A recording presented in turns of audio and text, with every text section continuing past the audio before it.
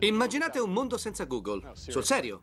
Un mondo senza Google, dove non potete trovare informazioni sulla persona con cui uscirete domani sera. Dove non potete scoprire con un clic del mouse il PIL del Kazakistan. Un mondo in cui se vi sentite male non potete accendere il computer per capire se basta una pastiglia o dovete chiamare l'ambulanza. Incredibile, solo un decennio fa Google non esisteva e cinque anni prima era impossibile fare ricerche su internet. E questo era un grande problema. A che cosa serviva il World Wide Web se non ci si poteva navigare e trovare ciò che si cercava? Fra le aziende che si sono cimentate nell'impresa ce n'erano alcune tra le più rappresentative della storia di Internet, come Yahoo e Excite. Ma anche se a imbarcarsi in questa avventura ci fossero stati i giovani più brillanti degli annali dell'imprenditoria americana, nessuno sarebbe riuscito a venirne a capo. Poi due introversi cervelloni di vent'anni trovarono il bandolo della matassa.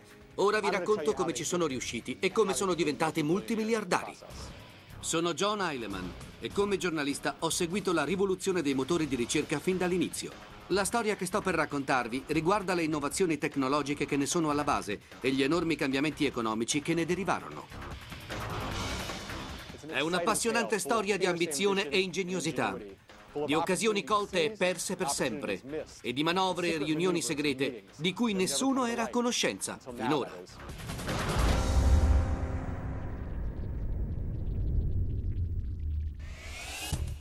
Oggi, digitando il mio nome in un qualsiasi motore di ricerca, scoprireste in pochi secondi che sono un giornalista e potreste curiosare in un catalogo più o meno completo delle mie pubblicazioni.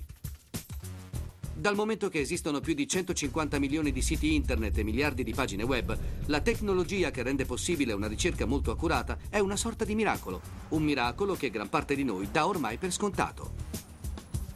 Dimentichiamo che poco più di dieci anni fa il web era fatto così, pagine e pagine di puro e semplice testo, lunghi elenchi di frasi sottolineate. Trovare qualcosa su internet era quasi impossibile. Non restava che seguire i link e sperare che la fortuna ci facesse approdare a qualcosa di utile.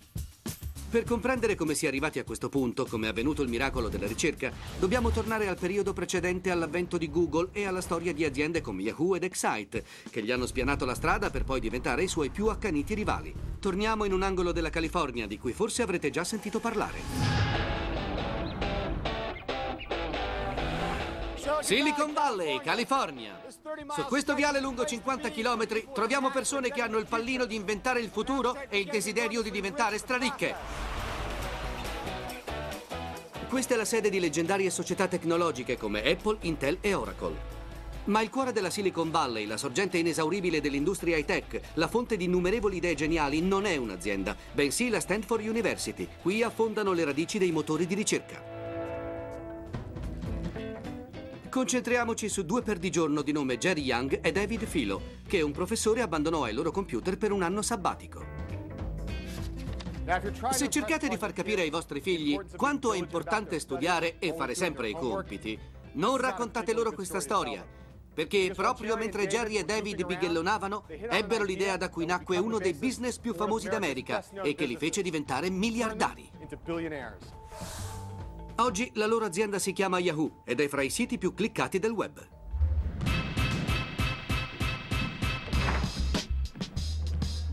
Tutto cominciò quando Jerry e David cercarono di usare internet a loro vantaggio per vincere un torneo di fantabasket a Stanford.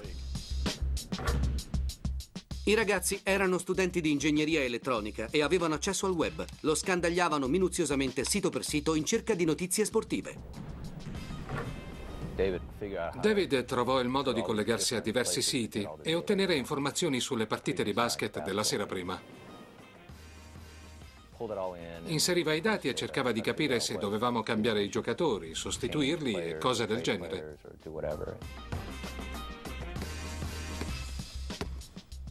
Difficile pensare a uno scopo più frivolo del fantabasket, ma rovistando in cerca di notizie sportive in quella massa informe di dati, Jerry e David muovevano i primi passi verso la ricerca. Per capire che cosa fosse Internet e che cosa avesse da offrire, serviva una sorta di guida, una directory che ti insegnasse a navigare. Idea semplice ma geniale.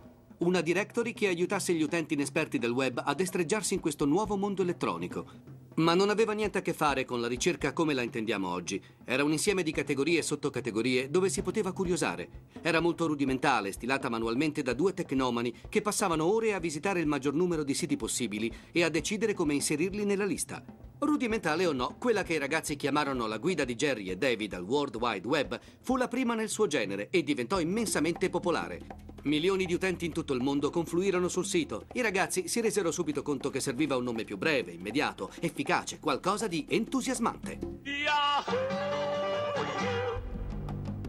Yahoo fu una grande idea, ma una grande idea non basta per fare una grande azienda. Ci vogliono soldi e molti. Ma si sa, quelli non mancano alla Silicon Valley e vengono per lo più da questi edifici lungo Sand Hill Road, cioè dagli uffici di molti leggendari venture capitalist. Non sapevo cosa aspettarmi la prima volta che sono venuto qui. Strade ricoperte d'oro o roba simile. Mike, cosa ho visto? Un accrocchio di edifici bassi e anonimi. Ricorda un villaggio alpino. Dietro quelle porte però siedono i venture capitalist, gli uomini che gestiscono fondi di investimento multimiliardari. Sono loro che decidono quali start-up avranno una chance e quali non vedranno mai la luce del sole. Una delle società di investimenti più potenti è Sequoia Capital, un suo famoso socio, Michael Moritz, decise di far visita ai giovani fondatori di Yahoo a Stanford. Là dentro regnava il caos più totale. Era l'incubo di ogni madre. Cartoni della pizza, computer e aggeggi elettronici sparsi ovunque. Le tende tirate a una temperatura di 30 gradi. Era una fogna soffocante. Era un casino. C'erano svariate ragioni per essere scettici all'idea di investire in Yahoo. Erano solo in due e la loro strategia aziendale era a dir poco nebulosa.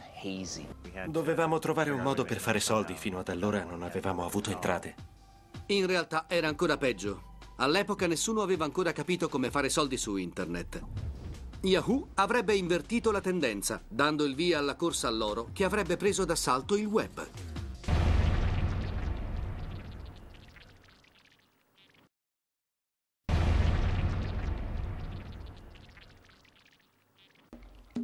Nel 2007 motori di ricerca come Yahoo e Google hanno totalizzato utili e ricavi per miliardi di dollari, alimentando l'invidia degli imprenditori di tutto il mondo. Ma agli albori del web nessuno lo sfruttava per affari e commercio. L'idea era considerata eretica, da qualcuno persino riprovevole. Ricordo le controversie all'epoca in cui il web cercava di delineare la sua cultura. A metà degli anni 90 il centro della cultura del web non era nella Silicon Valley, ma in questo piccolo parco alla periferia sud di San Francisco. Proprio qui vennero fondate la rivista Wired e la sua sorella online Hotwire. Lavoravo qui all'epoca e l'imminente commercializzazione del web era oggetto di accesi dibattiti da cui emergeva una sola parola, pubblicità. La pubblicità spaccò in due la web community della prima ora. Da una parte i venture capitalist e altri istituti finanziari convinti che internet fosse un nuovo mezzo di comunicazione e che i media dovessero finanziarlo con la pubblicità. Cento anni di storia dei media ci insegnavano che se si è in grado di riunire nello stesso luogo un vasto pubblico, si può vendergli della pubblicità. Di sicuro non serviva un gran cervello per arrivare a capirlo. Dall'altra parte c'erano gli utopisti di Internet, persone che vedevano nel web un luogo che prometteva la libertà. Non era un ambiente commerciale, non era frequentato da aziende, ma da un gruppo di studenti e ricercatori universitari che sperimentavano la novità. Ora Young e Philo avevano il capitale e tutte le carte in regola per fare business. Dovevano trovare il modo per fare i soldi con Yahoo. Jerry e David erano molto preoccupati delle implicazioni e delle ripercussioni del posizionamento di annunci pubblicitari sul loro sito. Temevano che gli utenti non sarebbero stati d'accordo e che si sarebbero ribellati. Per i fondatori di Yahoo era un vero dilemma. La pubblicità rischiava di far allontanare gli utenti più fedeli, ma non c'erano alternative. Che altro potevano fare? La pubblicità in quel momento ci sembrava la scelta migliore, ma naturalmente eravamo preoccupati. Fu molto dura, durissima. Non sapevamo come sarebbe stata accolta questa decisione, se avrebbe avuto contraccolpi o se avrebbe alimentato il cinismo sulle ripercussioni degli interessi commerciali su questo mondo elettronico utopistico. Verso la fine del 95 Yahoo cominciò a ospitare annunci pubblicitari, trattenne il respiro e incrociò le dita. Inserimmo il primo annuncio con trepidazione. Ci chiedevamo, santo cielo, funzionerà? L'apprensione si rivelò fuori luogo.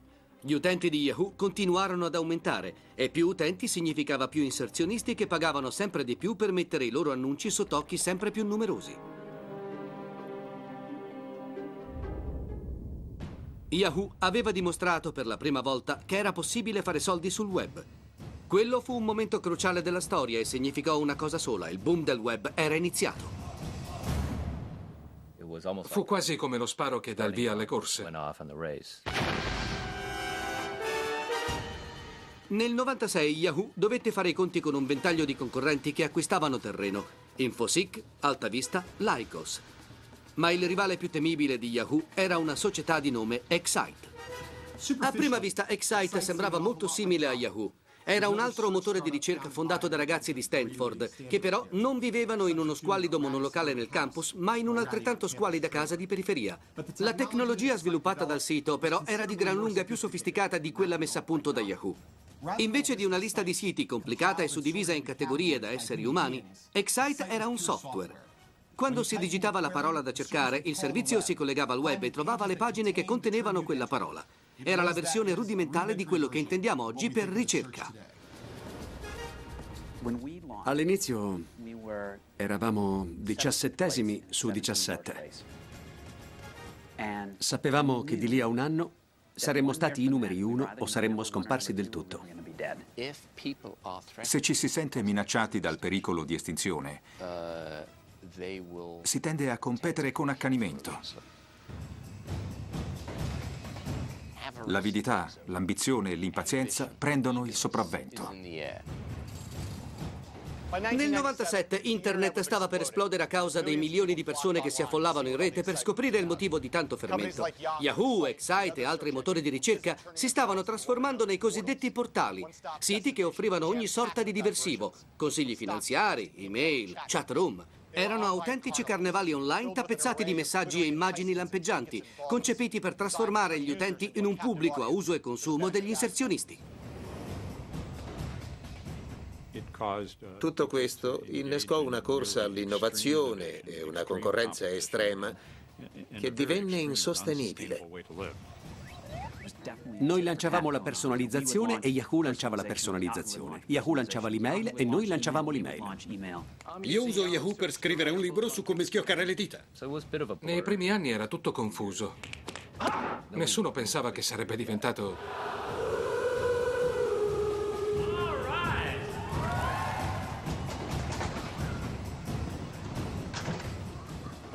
Benché i motori di ricerca stessero riscuotendo un grande successo, si stavano trasformando in qualcosa di diverso da ciò che erano all'inizio. Concentrandosi sull'ostentazione, avevano perso di vista quello che in passato aveva richiamato gli utenti, cioè la necessità di trovare informazioni in un web in continua espansione. In altre parole, i motori di ricerca smisero di occuparsi di ricerca.